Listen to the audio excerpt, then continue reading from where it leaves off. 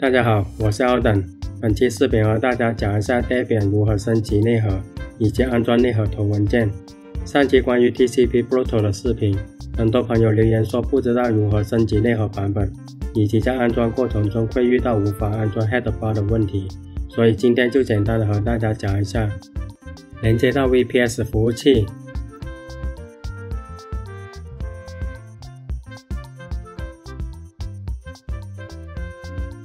我这里有一台 Debian 十一的 VPS，查看一下内核版本。当前版本是五点幺零点零杠二六。如果我们想要更新内核版本，一般情况可以先尝试通过更新软件包列表，看是否有新版本。通过 apt update 命令更新软件包列表。再通过 apt upgrade 命令更新软件。如果软件包列表有更新的内核版本，upgrade 命令是会更新到最新版本的内核。不过我这里是没有更新的，因为当前内核版本在软件包列表已经是最新了。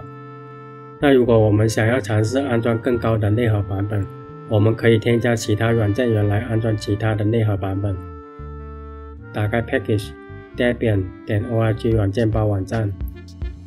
点击稳定版软件包列表，bookone 代表 Debian 十二的软件源，找到下面的内核，搜索 Linux 杠 Image，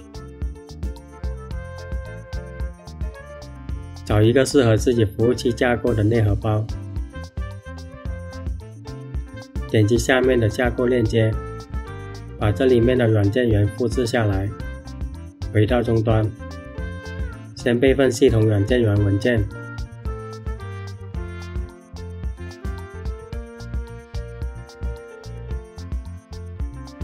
再编辑一下，粘贴到最后面，保存退出，再通过 apt update 命令更新软件源列表。更新完成之后，再通过 apt upgrade 命令更新软件。升级完成之后，查看一下 boot 目录，你就会看到多了一个内核文件。再查看当前内核版本，现在是没有变化的，还是旧的版本。现在需要重启服务器。重启完成之后，再查看内核版本。现在已经是更新后的内核版本了。现在测试看能否安装 TCP Brutal。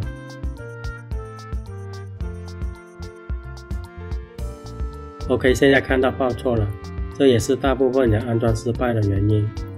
这里的意思是无法安装当前内核版本的内核头文件的依赖包。一般遇到这种问题，我们首先尝试手动安装。手动安装之后，我们就可以看到是什么原因导致无法安装。这里提示缺少了依赖。我们再回到软件包页面，找到 Linux 杠 Headers 包，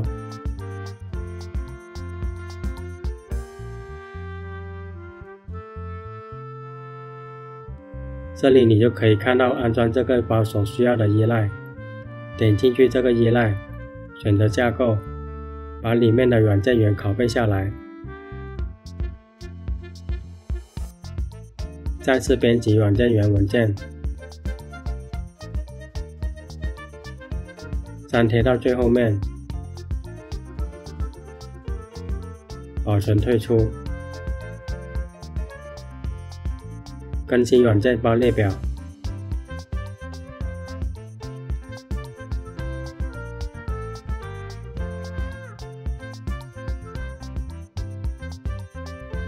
再重新安装 TCP Brutal，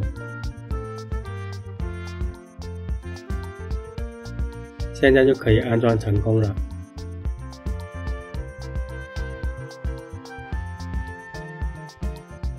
通过 DKMS Day 命令查看一下。还有另外一种方法，使用第三方的软件源也可以。打开谷歌，搜索清华大学镜像。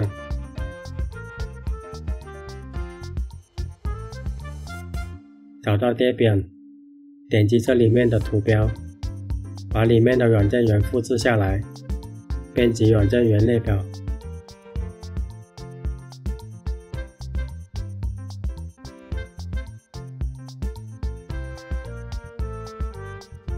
更新软件包列表，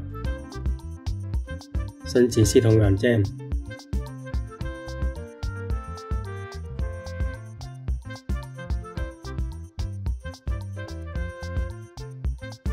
升级完成之后，查看干部的目录，就会多了一个最新版本的内核文件。当然，我没有找到最新版本，就不会有这个文件了。重启系统，再查看内核版本。现在已经是最新的版本了。再通过 DKMS 命令查看一下。